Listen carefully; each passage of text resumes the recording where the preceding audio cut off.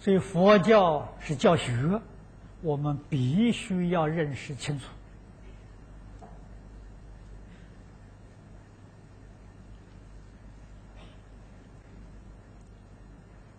从前科技不发达，交通不方便。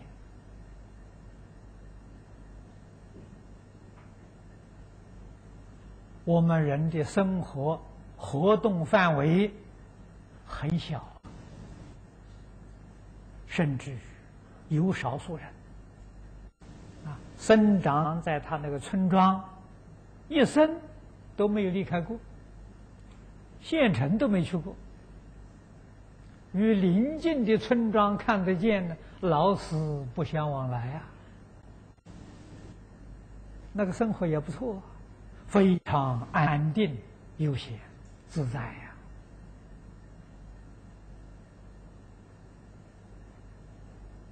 啊，因此，佛教教育要普及，就必须要建许许多多的寺院，方便大家求学。啊，实在讲，中国这个教育。佛教教育比任何教育都要广泛。啊，到处都有小寺院。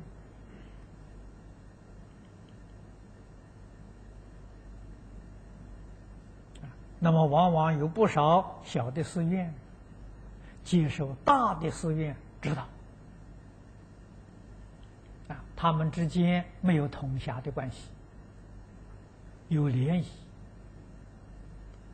啊，在教学上有辅导的关系，那么这就形成中国以后丛林里面的宗派。每一个寺院有他独立的道风学风，啊，成为一个学派，成就。许许多多的人才，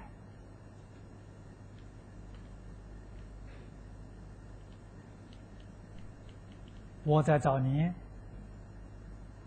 亲近方东梅先生，方老师曾经多次跟我说：“如果要佛教恢复，他说一定要恢复丛林制度。”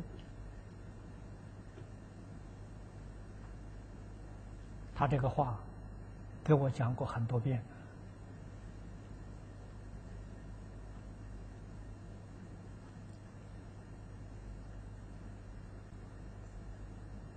我们想一想，他的话不无道理。现在，我们要想挽救世道人心。现在是非常迫切的需要，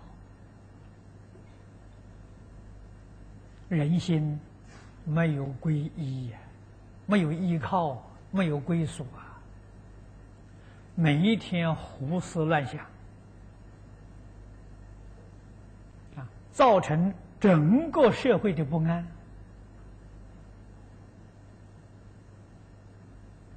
这是大问题，不是小问题。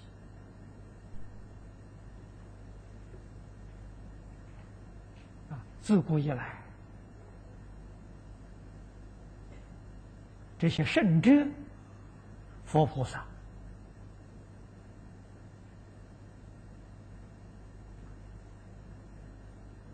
他们有智慧，有慈悲心，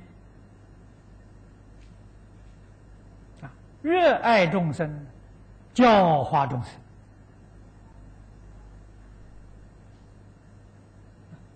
佛家讲以种种善巧方便帮助一些众生转恶为善，转迷为悟，转凡成圣。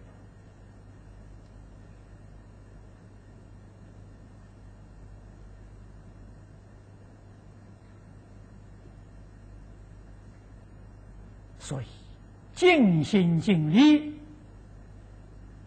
从事于教学的工作。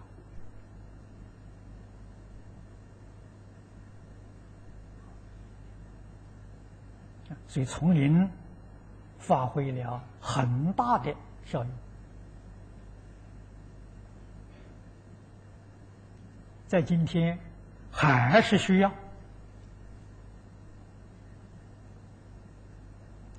我在十二年前啊，第一次到北京拜访赵普老。那个时候，他身体还很不错，啊，我就跟他谈起这些问题，他也非常赞成。不是今天在中国这么大的国家，科技发达，交通便捷，道场不要多，建十个道场就够了。啊将全国的人力、财力、物力集中建十个大道场。为什么建十个呢？佛教有十个宗派，每一个宗派建一个道场，不要分散了。分散之后啊，什么事情都办不成功。啊，人力、财力全分散。能成就什么事情？从前到处建小道场是不得已，没有法子。现在很方便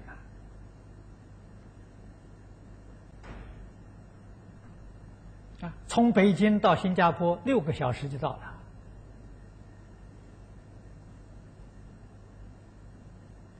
所以建一个道场就够了。每一个宗派建一个道场，道场用什么形式来建呢？模仿外国的大学城，用这个方式来建。啊，你看我们他到外国去看，人家一个学校，一个学校就是一个城市，值得我们去参观。这一个大学城里面。我们分两个部分，一个是修行的部分，一个是研究的部分。研究部分称佛学院，啊，修学的部分我们称学会，啊，像净土宗、净宗学院、净宗学会两个部分合在一起，这是净土宗的大道场啊。天台宗建一个，显首宗建一个，法相宗建一个，每一个宗派建一个道场，佛法就全面都复兴起来了。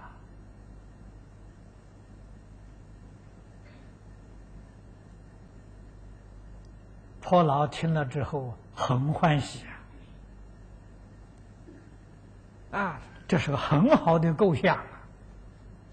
现在交通方便了。啊，就是坐火车，几天也就到了，啊，两三天的就这个这个行程了，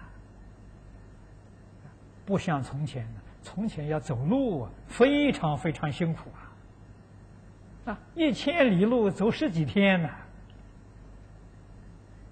所以非常不方便。现在交通太方便，太便捷了，所以一定要把。人力、财力、物力，通通集中使用，建大道场，不建小道场。